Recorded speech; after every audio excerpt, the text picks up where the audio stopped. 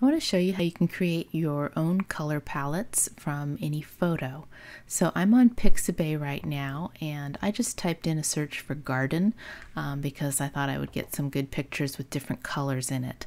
Um, and so I am going to take this tulip picture because it's got some nice vivid colors in it and I'm going to download this. So ideally you want to use um, a photo that you have the rights to use and let me just pause and download. Okay, so you want to um, use a photo that you have the rights to use. So either something from the public domain or even better, a photo that you took yourself. So I'm using this from Pixabay uh, for the purposes of this demonstration. So now let's go into Affinity and I'm going to go to File and Place. And let's go ahead and find that picture. There it is. And we'll just place it in here. And I'm just going to make it a little bit bigger. Now I'm just going to make some little swatch dots here. So let's, most palettes have about five. So I'm just going to do this um, if you wanted to present this to someone with the photo and the actual swatches. But we'll also make a swatch that you can use in your document as well as in other documents. So let's go ahead and just with this selected uh, with the move tool, I'm going to control J to duplicate, hold shift while I move it over a bit, and then control J a couple more times just to create some boxes here. So now I'm going to select this first one. I'm going to go down here to the color picker tool and let's pick out maybe a nice dark blue. And then I'm going to go to the next circle and I'm going to just pick out, uh, I think maybe like an orange. I like that. And then we can go to move tool, select the next circle, color picker, and let's get maybe this kind of creamy white.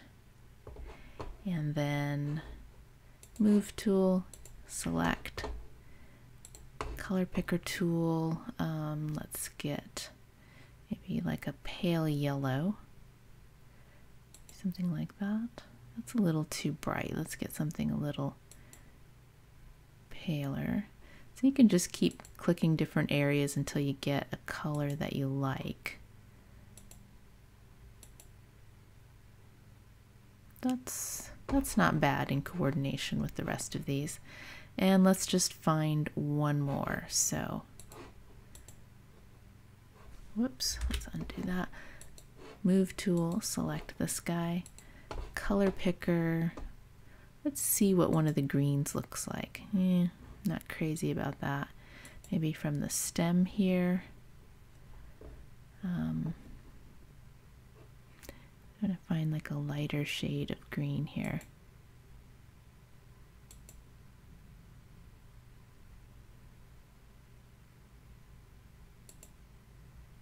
I think down here was the best.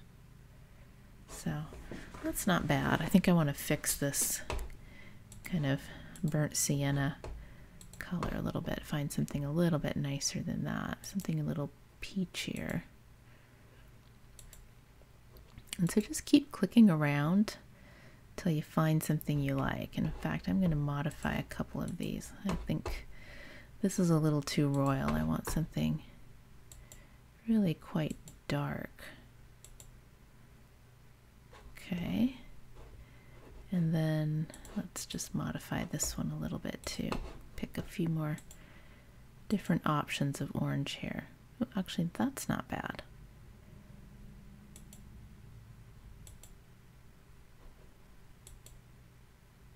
Maybe that. Let's do that.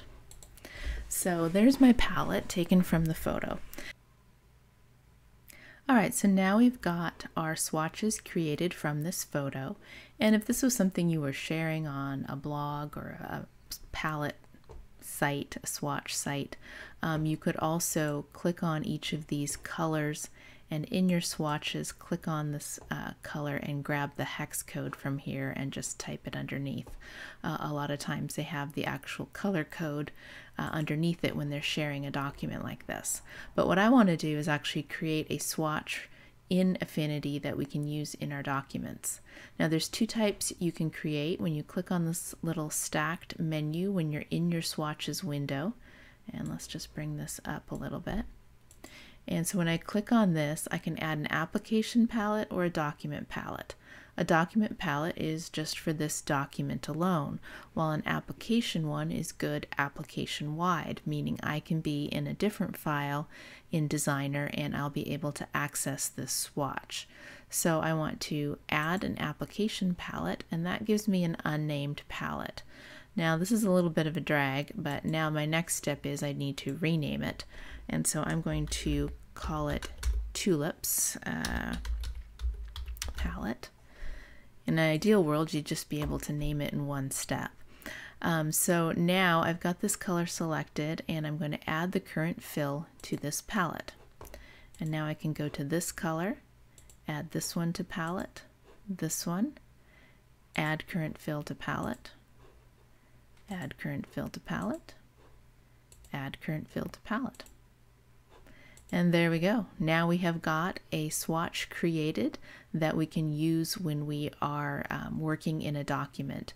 And uh, nature photos make really nice palettes because everything in nature has a tendency to have kind of a balance to it uh, in and of itself. So uh, have fun making um, palettes out of photos that you've taken or photos from the public domain.